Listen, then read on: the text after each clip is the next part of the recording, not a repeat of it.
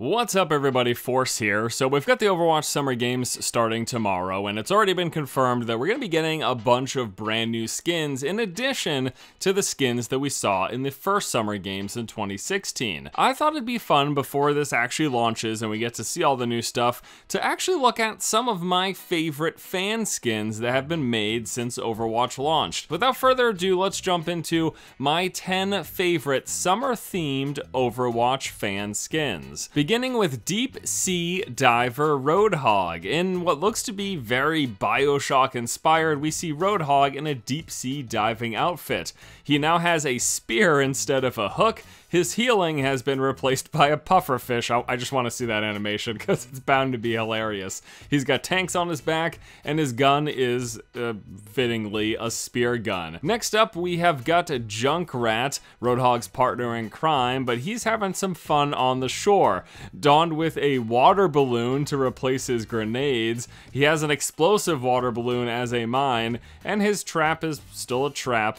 Uh, RIP-Tire is now a, a life saving buoy that you'd be tossing overboard. A little contrary to what it actually does, but nevertheless. Uh, and, and as you can see, he's got this nice little swim trunks on, ready for some uh, fun in the sun, as all of these skins are. Moving on, Zenyatta, ready to build some sandcastles. Dubbed Sanyata, he's got water balloons instead of his traditional orbs, and his face has been replaced with a sand pail to make some sandcastles. He also, of course, has some nice swim trunks and a little change purse, you know, so he could store his money after he buys himself a delicious ice cream on the pier.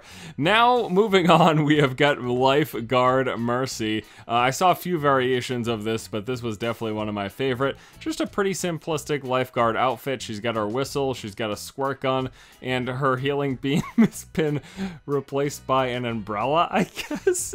it's pretty cool stuff. We also see some ambulance beacons on top of her wings.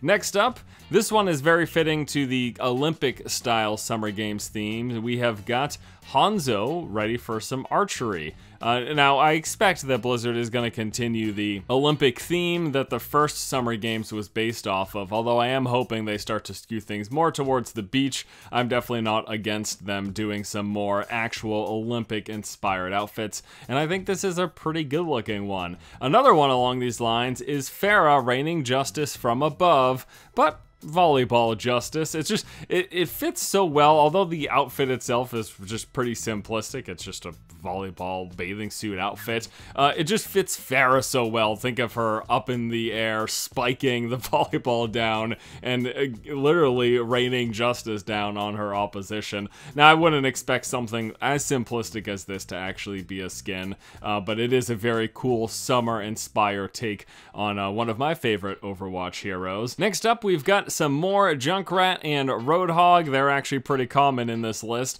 Uh, this time we have got Roadhog in a pretty simplistic swimming outfit. He's got his cap on as well to keep his hair nice and dry. And Junkrat is ready for some tennis. Now this was something that was teased in the first Overwatch Summer Games as we did get the spray of Junkrat playing tennis. And I think it'd be cool if some of those sprays showing off some of the different uh, Summer Game themed events from the Olympics were to actually come through. And I think this is a really nice rendition of what that could possibly look at. The next one is an oldie but a goodie, and this is Scuba D.Va. So we've got D.Va in a scuba outfit, including the snorkel and mask. But more interestingly is her mech is a shark. But this is uh, so well fitting for the summer theme, and I think something like this would be really awesome. And I could actually see something like this making it into the game. The next one is also an oldie but a goodie, and this is another Junkrat. This is Shipwreck Junkrat.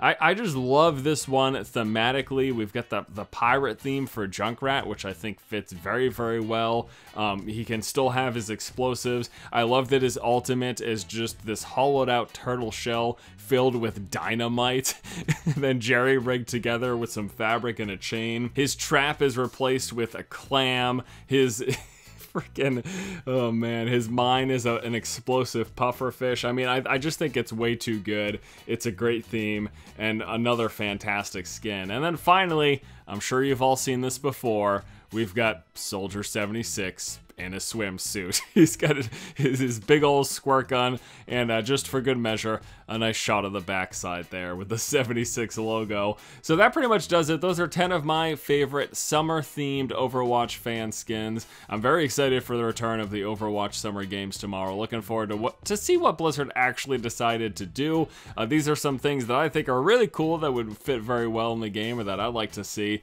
Uh, I don't know or expect any of these to actually make it in because Blizzard doesn't tend to turn fan art into actual in-game stuff, but nevertheless, I'm excited to see what they do. Hope you guys enjoyed the list. Hope you have a good one, and until next time, I'll see you later.